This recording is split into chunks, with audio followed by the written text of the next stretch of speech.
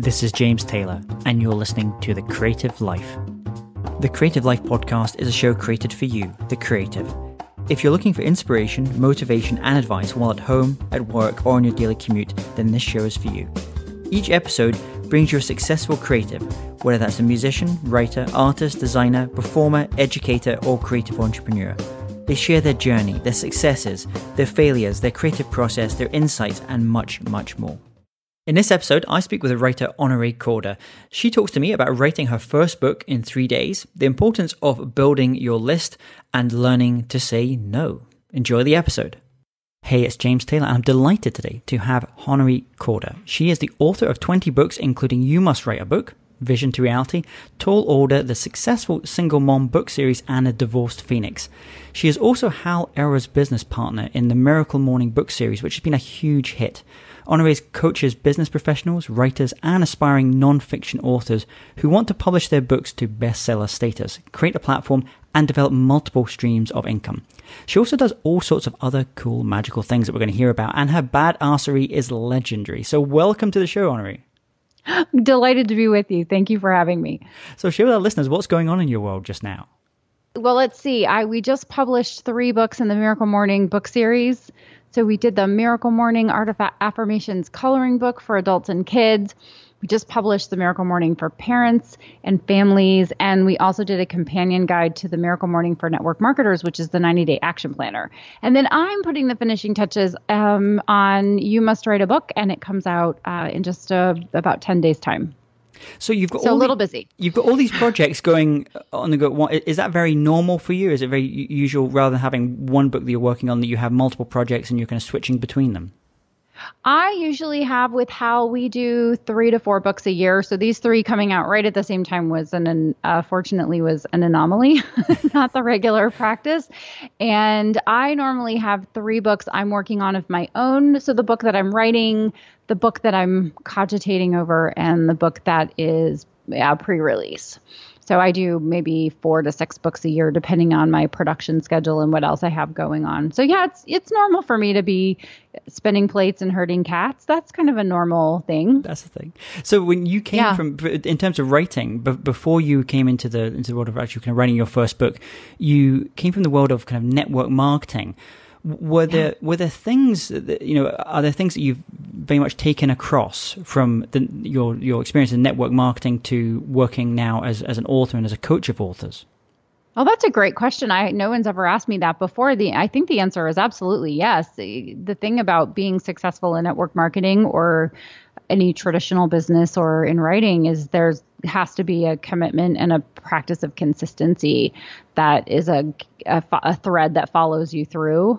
So in network marketing it's you know 10 calls a day and making the ask and following up following up following up. And in traditional business it's making 10 calls a day and following up consistently. And in the writing business um, it's consistently writing and it's also consistently making the ask. And in in place of 10 calls a day you're probably posting on several different social media sites and, and reaching out to podcasts to be interviewed and perhaps blogging and, and asking people to buy your book so that it's it's uh, identifying the best practices that are going to move the needle and doing those consistently. And it's not sexy or exciting, but it sure does get the job done. And and how did you when you kind of went from that with the world of network marketing into becoming a really as a as a writer? How did you first start kind of developing your craft? How did you kind of get to that point where writing was was a, a daily ritual was was something that you were doing consistently? Oh gosh, so that there's a lot of years in there in between. Um, well, first of all, you use the word writing craft, and you said it more lovely than I say it. Um, but um, I don't think there was any craft involved. It, initially, I didn't know to have a craft, so let's start with that.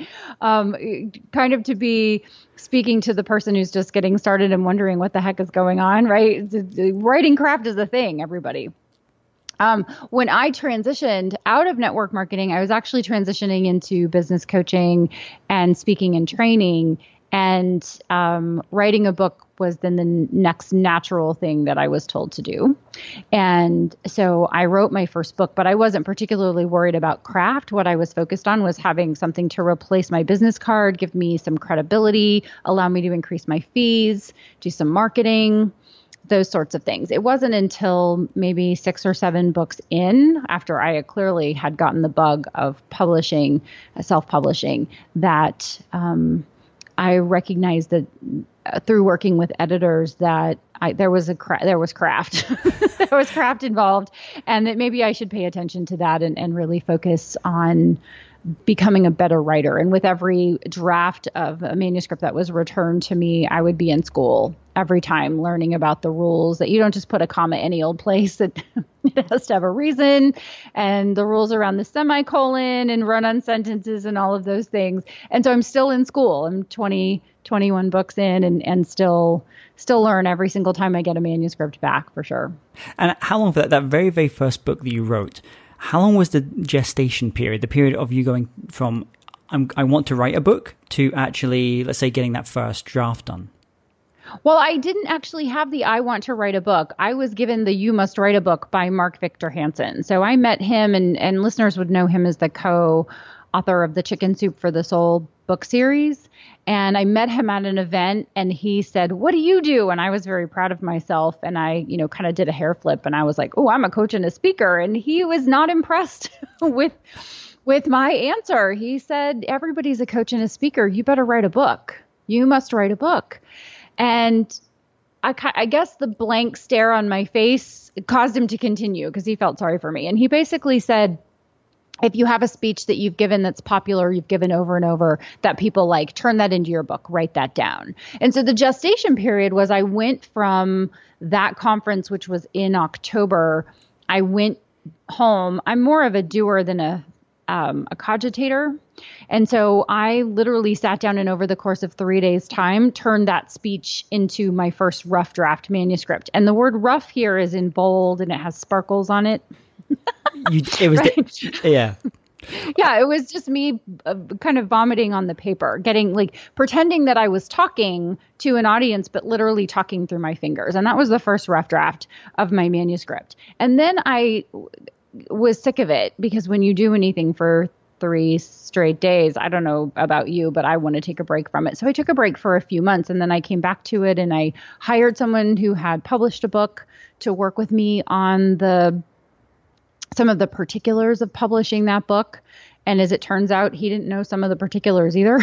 so um, my first effort wasn't sterling and resulted in a bonfire sometime later when I re- when I realized what was missing and did the the makeover of the book. And um, so th- that whole process took me probably six or eight months before it was finished. So you're, you're known as well, um, obviously with your work with Hal, uh, but your own, own, work of writing in in series, in kind of series. You you often, I've noticed in, in, your writing that there's a there's a theme that kind of goes on. Mm-hmm. It carries over a number of books. With that very first book, did you have that? And were you thinking, you know? Um, uh, Harry Potter style, you know, this is going to be a three no, series no. thing. I was like, I just need to get this stuff out of my head onto the page so I have something as a as a calling card, as a business card. Yes, I would love to say that I am, you know, behind the curtain with this grand um, strategy from the very beginning. And actually, no, it was more of the latter. I, I just need to have Mark Victor Hansen says have a book, and I'm going to have a book, everybody. And so I I had a book, and that was it. I didn't write again. I didn't write I didn't write again at all, and I and I barely was blogging, um, and I didn't write a book again until 2009. So between 2004 and 2009, I didn't really write at all.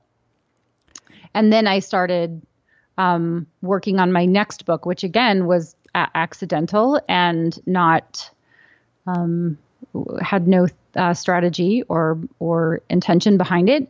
But then I realized I could write a series in that book, but it wasn't from a strategic perspective. It was more um, in the book I'm referring to. The second book that I wrote is called The Successful Single Mom, which became a six book series, all nonfiction. Um, I just realized there were certain problems that single moms had, problems that I had as a single mom that I solved. And so I decided to write books around each of those challenges and how I solved those problems myself. But I think what, what you said just at the start there as well, where you were talking about you know, not feeling necessarily you were a writer, but kind of coming to it later. Um, it, it, you know, you weren't one of these people that straight from college or something went out and mm-hmm. I'm going to be the great American novelist, or I'm going to be, you know, you you weren't that that person. It was very much okay. This is something to do. But did uh, is that first book was that maybe a, a challenge? Did have you ever felt kind of really bitten by the, the, the, the bug of writing, or is writing very much for you? It's about just getting getting your ideas out and you're quite happy when the book is finished and it's and it's away and you can go on to the next thing. Oh i absolutely love it now. I actually have writer on my business card. I i'm enthralled with the book business and the process and i love birthing the books. Now not every minute not not every minute of the process is joyful and you know fairy tales and and unicorns but for the most part, I really do love it. And as I'm publishing one book right now, I have three or four more book ideas that I haven't even written down that are just kind of running around, plus the list of books that I have already written down that I want to write. I definitely, I, I got bit by the bug, and I definitely have the fever for sure. And something you're, you're known for, um, and you, you know you coach a lot of artists on, is around self-publishing. So rather than um, do you know the find agent, book proposal, etc., and publisher. Um, how we are now writers are now empowered to be able to self-publish. Mm-hmm. Um, when when you were kind of first starting, is that how you kind of you went straight into the kind of self-publishing thing, or did you go the traditional route and then kind of come to self-publishing later on? I didn't. I I did not fancy myself a writer. I did not go to college. I didn't have a journalism degree. I thought that agents and publishing companies were for capital W writers, and I certainly wasn't one. So I didn't even try the traditional publishing route at all. I just self-published. I just figured it out, and um, I've always stuck with self-publishing. And by the time, um, by the time that it was even a conversation like I went, oh, some people still are holding out for the agent and the and the traditional publishers. I'm already doing okay. so um, I haven't I haven't ever really tried traditional publishing. I know I have lots of friends who have been trad and come to self-publishing and some have started self-publishing and then gone trad and and I think every single person has a, a recipe or a formula that works best for them. I like being in con- complete control of the manuscript and and the artistic expression, getting my book covers done and working with the editor and that sort of thing. I don't know that I would do well with just turning over a manuscript and hoping for the best. And, and I'm sensing also speed of the idea of you having the idea to kind of getting out there is, is quite important to you. So, and I imagine going, if you'd gone the traditional publishing route, um, that whole process is very elongated. Um, where with the self publishing, you can have that idea and you can, you know, work on the thing and you can get it out in a, in a, relatively quick idea and then move on to the next, the next thing in, in the in the kind of series as well. Um, when when you you start work, I know you you spend a lot of time now speaking um, at, at conferences and speaking to other writers and, and aspiring writers as well. Um, what are some of the, the, what are some of the kind of questions when you go and speak at those events and the kind of Q and A's, or when people kind of come up to you afterwards, they, they felt a little bit embarrassed about saying something, but they, you know, over a cup of coffee, they'll come up to you and ask a question about writing. What are most of the questions about the, as I mentioned, like the craft, or is it about the, the marketing of it, or is it something else? they they are interested in my perspective on having a book that is indistinguishable from traditional publishing in terms of quality so they're interested to know how I maintain a speed of publication and yet still dot the I's and cross the T's so that when someone holds the book, when they're reading the book, it feels as though it could have come out of New York. Hmm. And, and, and it, what did I do to, to what do I do to make that happen? How, how does that happen exactly? That's what they want to know. And then of course they want to know how to be a full-time writer and so as, as you've kind of de- you've developed that, is, is for you is, is it quite is it quite process orientated? Then you, you know you have a you have a, a kind of model and a process, and you just every time you're just trying to tweak it and improve it and, and make it you know smoother and make it better. Uh, is is that what you're focusing a lot of your time about? So like thinking about the the the, the almost thinking more like a a, a publisher in, in some ways than than than a writer. Yes. So that well, there's definitely different phases of a project. There's the idea phase. There's making the idea concrete and deciding how I'm going to express it. So what's the book idea? What's the problem the book is going to solve or the solution the book is going to offer? What's the pain I'm going to help the reader avoid or the pleasure I'm going to help them get or both? what all needs to be covered in the book and what doesn't need to be covered in this particular book and could it go into a separate volume something like that. And then there's the writing process which is the creative the creative piece for me. And simultaneously while i'm in that creative process and making all of those decisions i'm also commissioning covers and releasing the outline to the copywriter so that the book description can be made and scheduling the editor and scheduling the the layout and design person so that the book has the look and feel of a professionally published book or is pro- or is professionally published. It's just professionally self-published. And then at some point we sw- we downshift into marketing. Like how are we going to sell this kid to the public right? So um, what has to happen for all of those things to happen? So it's it's a i think it's a ballet actually it's a carefully choreographed ballet that when it goes well, it's wonderful, and when it doesn't go well, it's still pretty wonderful. and then it ends up okay. And one of the things you did with Tall Order, I, I, remember reading a, a, piece of you before, and um, you, you you were very good, probably from your your network marketing days as well, about getting these pre-orders in uh, and and kind of pre-selling something as well. And I would imagine that that's something that a lot of um, first first time writers kind of struggle with. Uh, um, are there are there any things that you, you, you any kind of tips that you tend to to give to um, to writers about once you've kind of got you've kind of got the book it's almost ready to go and you want to start now in that marketing phase you know those 100 days or how long the, the, the period is going to be? Are there any things that you're you're suggesting to, for that writer to be thinking about and to be setting up Yes, and it actually happens. The I say the very minute you have a book idea, start to build your list. And I know I'm not going to say anything that every other person hasn't said, but the the power of an author is their relationships. The friendships they have with other authors and other writers is just the beginning. Ultimately, it's the relationships you have with the readers. When you have a book idea, you want to vet that book idea with prospective readers is this a book that you would read? Would you like to read my book? Ultimately, would you like to buy my book? So the marketing begins much earlier than the book is almost finished. Um, because I have this machine, I know at what point to drop the book in. And when I start talking about the book, it's almost um, instinctual at this point. But for a new author, when I'm actually working with someone, I have a very small clientele of professionals who are looking to write their first book or even have their book written but we're going to market it for them. The one of the very first things that we talk about and that's a continuing theme is how are they building their list?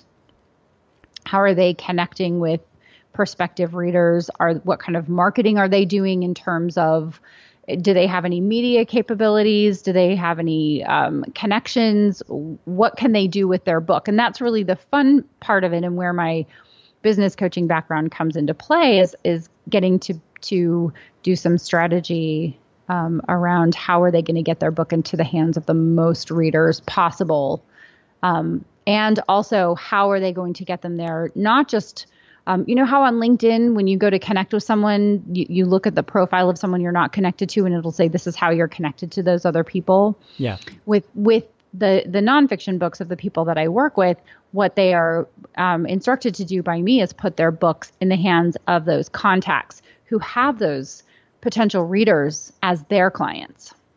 So this is so in terms just, of building relationships with other other writers or other people that have maybe platforms, not necessarily writers, maybe podcasters or, or, or other folks there or other professionals who aren't writers and wouldn't necessarily be writers. Oh, and I can give you a quick example. If you're a divorce attorney, you can't go to someone and say, okay, you've been married 20 years.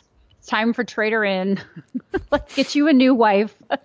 right. But when a divorce is happening, the person who's going through the divorce reaches out to their their closest um, connection and they say, who do you know who? Hmm. could help me to do X.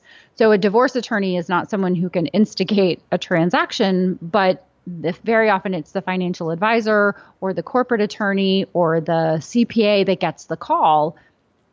And I'm telling my clients who are divorce attorneys, write that book and put it in the hands of those strategic partners because you're not you're not connected to your pers- reader, but your connections are. So that once, as you start to kind of build up, you talk about the building your list.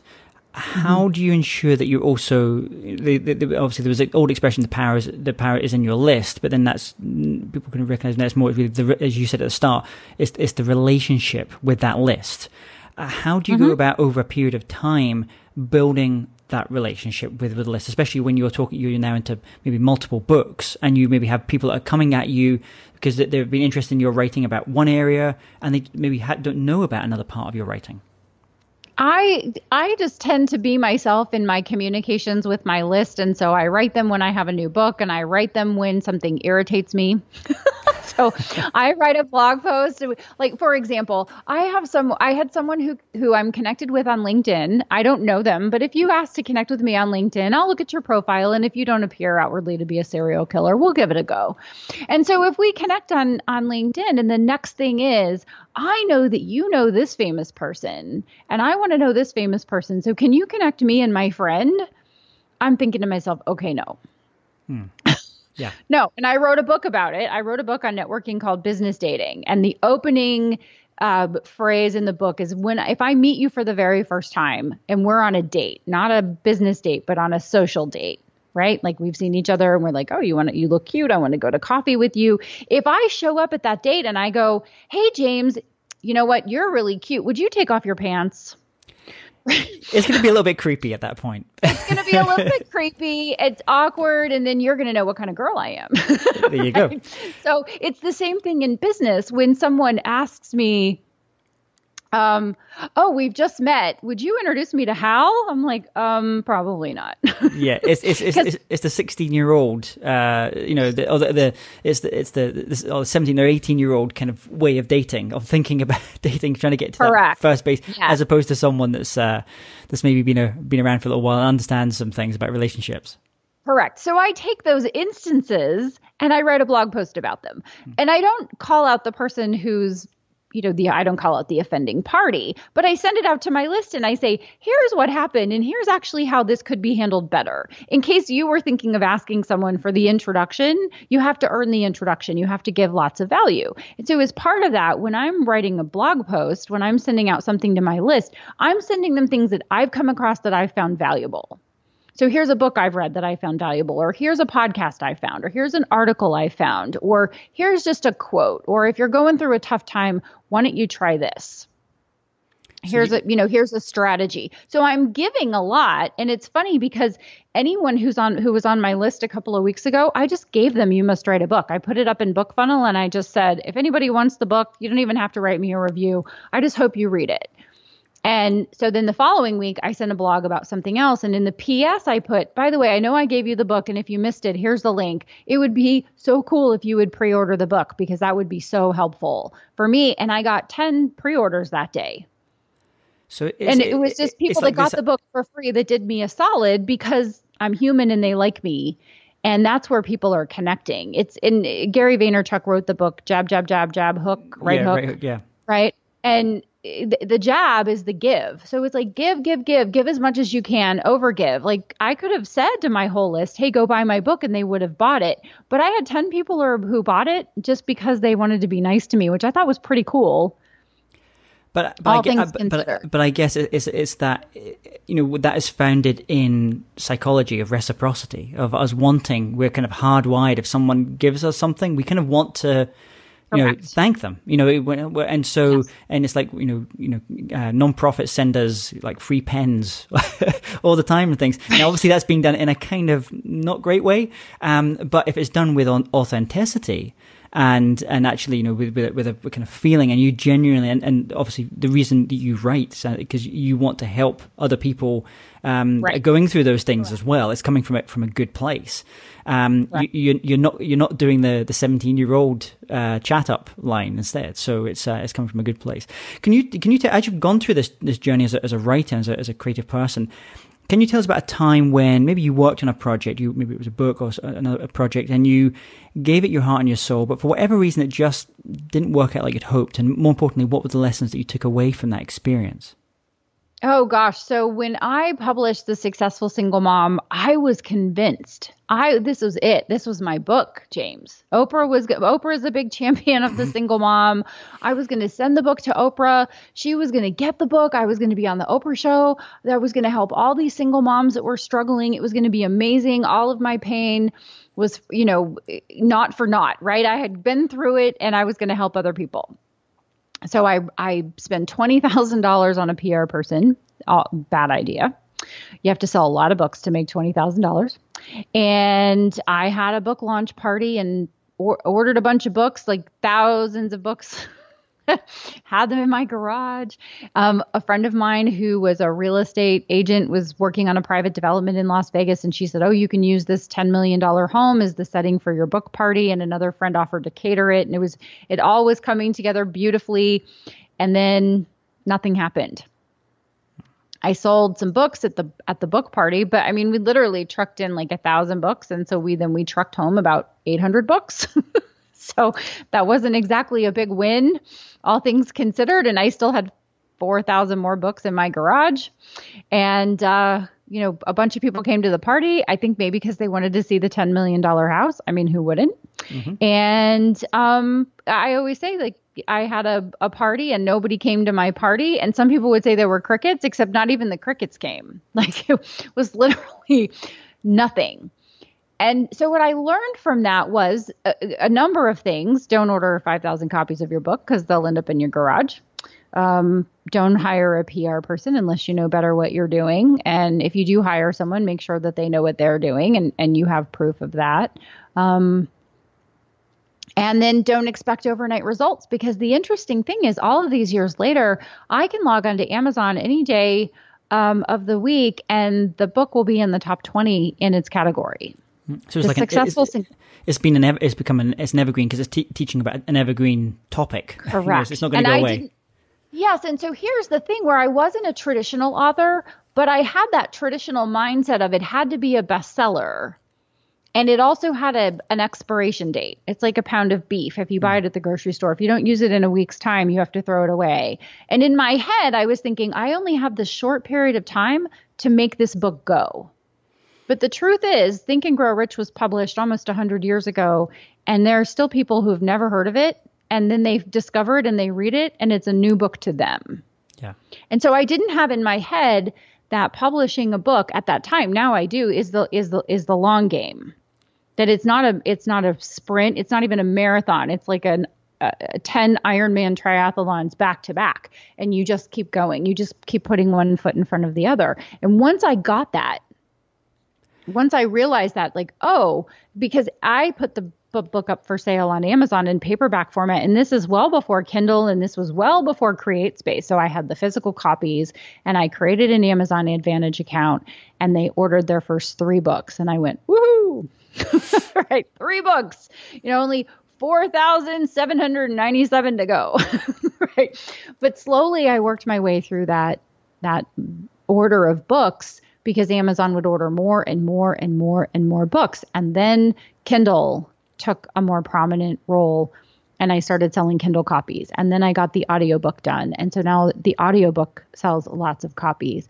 And so I realized over time that it really is an overtime situation. That if I just keep chipping away at it a little bit, if I'm not trying to run the 100 yard dash in world record speed, I'm still going to get there. I'll get there a few seconds after the winner, but I'm able to keep running. And I'm guessing as you you, you mentioned continually building your list, as you build that list, as new people are introduced to you, and they read that one of the books, and then they say, you know, I really enjoy that. What else does this person write?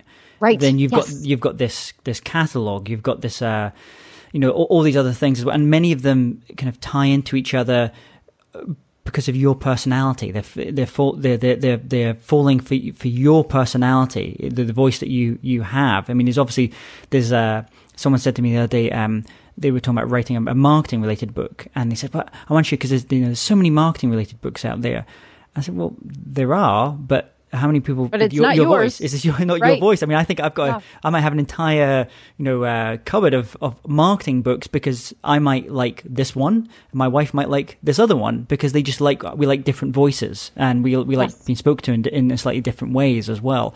So so you're going to have that. You you've got these evergreen books that are out there, and and in this this creative journey you've had, has there been any points where you've had a real kind of insight, a, real kind of light bulb moment where you've maybe said, okay, this is maybe a direction I need to be going with my work, with my writing. Um, have there been any of those moments in your life? Oh, sure. Um, well, like with the successful single mom book, I did the cookbook not long after that. And then I put those books away because I thought that they weren't working. And it wasn't until they started to gain momentum that I realized, oh, I could go ahead and write the rest of the books. And I had a an envelope I had written the six books on, or I had written five books uh, on the back of an envelope, and there were three books yet to be written. And I realized that I still had that envelope, and it was still there, and I could still write those books. And so I wrote and finished those books.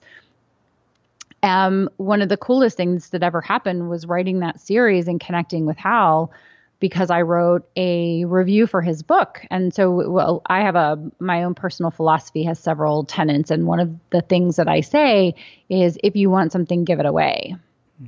And I realized I wasn't writing reviews and yet as an author, what do we want more than anything? Reviews, Yeah. five-star reviews, all of them, right? Yep. so I decided the next book that I read that deserved a four or five star review, I was going to write a review for that book. And, you know, the other part of it is if you don't have something nice to say, then just be quiet. So Yeah. if a book was awful, I just don't say anything. I just go on to the next book. So I read The Miracle Morning and I wrote a review for it on on Amazon and Goodreads and Hal reached out and said, "Hey, would you consider The Miracle Morning for single moms? Let's talk about it." So we got on the phone and in that conversation decided to partner a book at a time in tur- turning the Miracle Morning into a series. So that's I spearhead that part of Hal's business is producing those books and working with the co-authors. But it, it was definitely this is a direction you should go in, Honorée. Like you have this experience, you have this knowledge. He wants to turn it into a series. He seems like an awfully nice guy. Let's give it a go. And you know, three and a half years later, we're just about to publish our ninth book together. And so, listen to your gut for sure is another another message in And, there. and this can this you know, obviously we're, we're talking some of these things we're talking about maybe the high the higher level about things, but Yes. when it comes to just the day to day of actually being you know of writing of moving th- things then you know then the I, I was about to use an American the, is it nine yard line I think that's the American expression Yeah, I always get mixed right. up with American sports and British sports The one anyway, yard line. The one- when you're at the one yard line, that- yes, the one inch- yard to the one go. inch the one Yes. inch line um, so when it comes to that, what are some of the habits that, that you have that you, you think that really allow you to you know produce at this level of consistency and and- and also just you know you're constantly kind of you know producing work. Well, so I'm going to give the standard answer and then I'm going to give the non standard answer. How's that? Perfect. So we don't say the same thing everyone says. Yeah. The standard answer is I have a writing practice and I write every day from six to seven in the morning because no one is up at six in the morning in my house, right? It's just me. It's me, the coffee maker, the tea maker, and sometimes a cat. Um, that's my my daily practice. The non-standard answer is I say no. That's my default answer. Honorée, would you like to? No. How about this? No. yeah. I say no a lot. I'm an introvert. I like to stay home. I like to work at home. And so when someone reaches out for for whatever reason, I my general answer is no. I might be moved to and I'll think about it.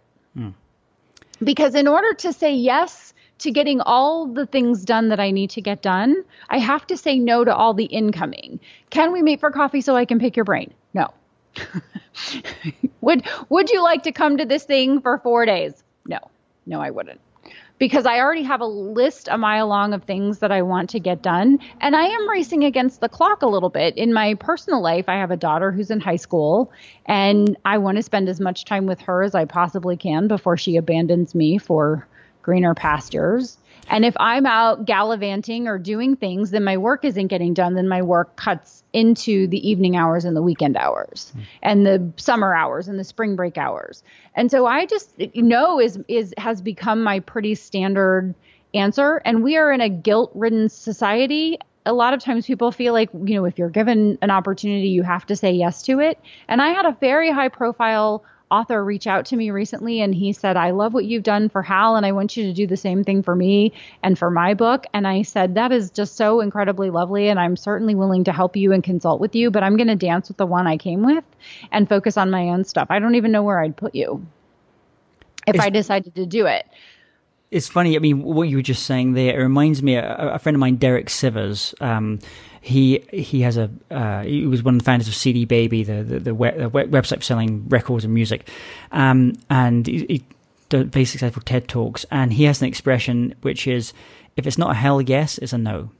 Yes. Um, and he basically says no to the vast majority of things, and then people are really surprised when they reach out to him and he does he says yes to something he said well it's right. it, it's actually because i really want to do it you know it's, it's so right. because he says yes to so few so few things but he said you know it's that kind of classic if it's like oh, one two three four five all the way up till eight probably nine it's a no and oh. it ah. just and it just gives him so much time to do other things family and, and, and do the, the kind of work and the deep work that he wants to do as well as a especially as a, he's an very much an, an introvert in that sense Yes. And so say no. Just Start say saying no. no to everything. Say no to everything. You can always come back and say yes. We are conditioned to say yes. And then we go, oh, why did I say yes to that? I wish I would have said no. And then you have to go back and you have egg on your face and you feel bad and the person's mad at you. So it's far better for you to say, no, I'm not available. And the last minute call and say, you know, I was thinking it might be a good idea for me to come and do that. And then they're thrilled. Yeah. But if you say I'm absolutely coming and at the last minute you just are thinking, oh,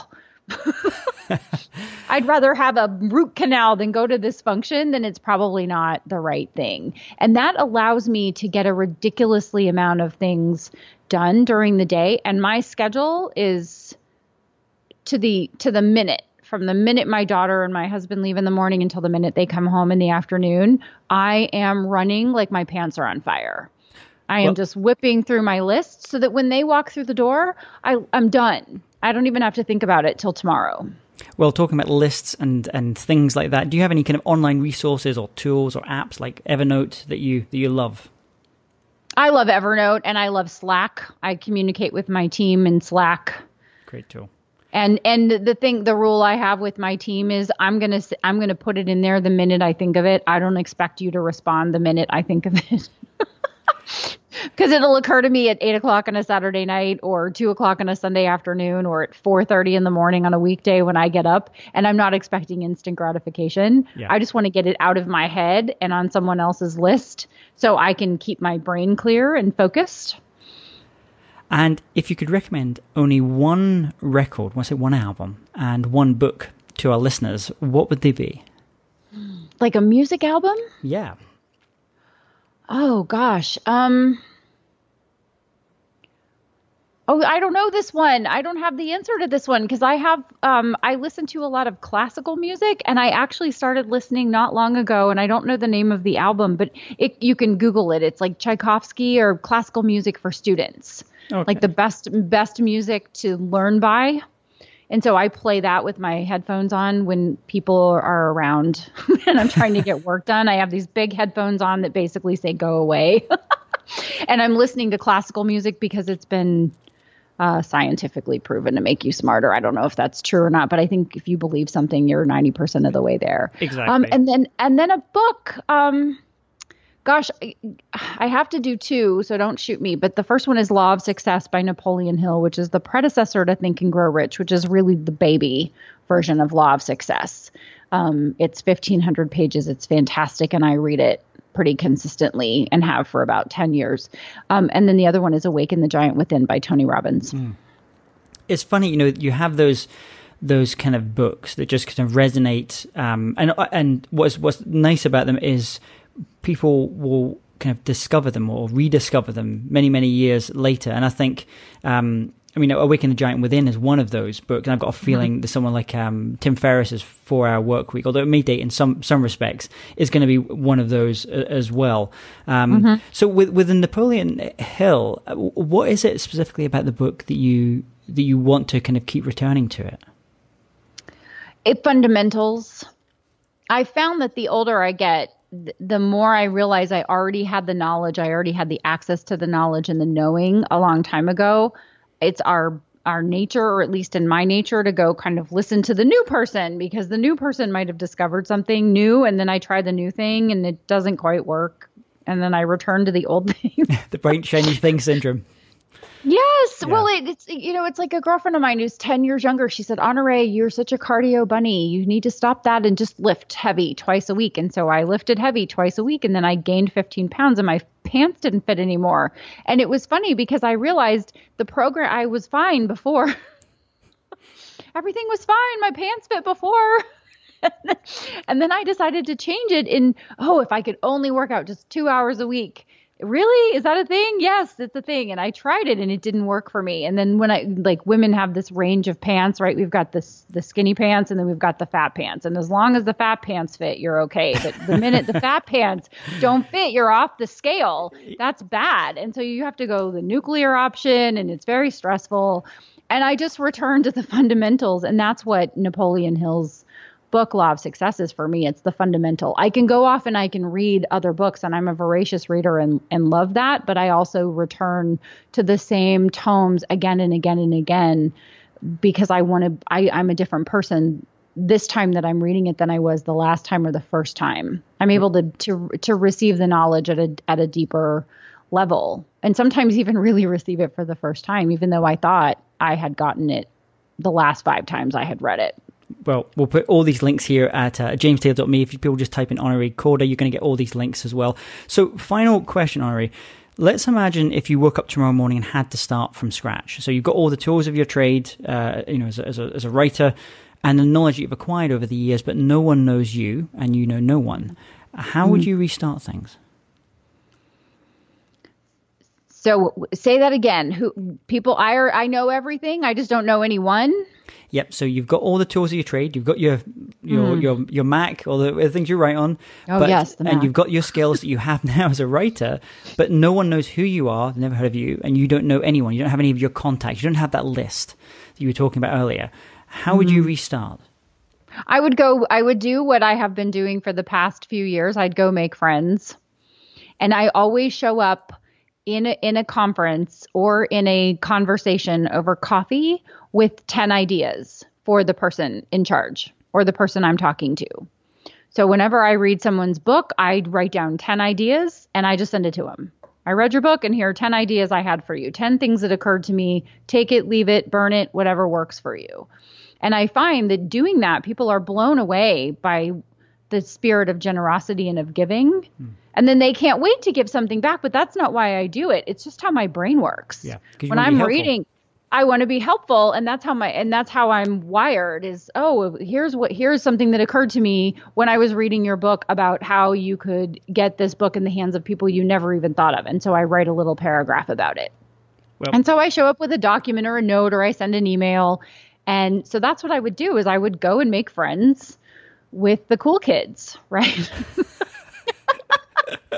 who are the cool kids? Well, who are the influencers? Who are the people that have influence that you also like because you don't make friends with someone that you don't like just to use them. That's rude. But uh, uh genuinely, when I'm a fan of someone, I want to make friends with them because they're cool. And as a byproduct of that, they are influencers and they're helpful.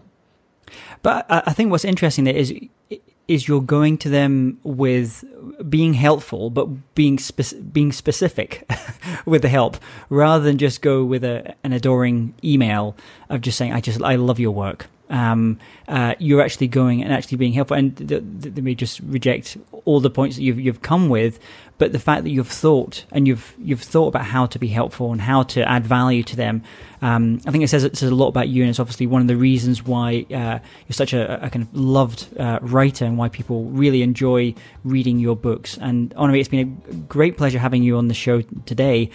What's the best way for listeners to connect with you to learn about your books, the new book that's coming out, and, and, and your speaking gigs?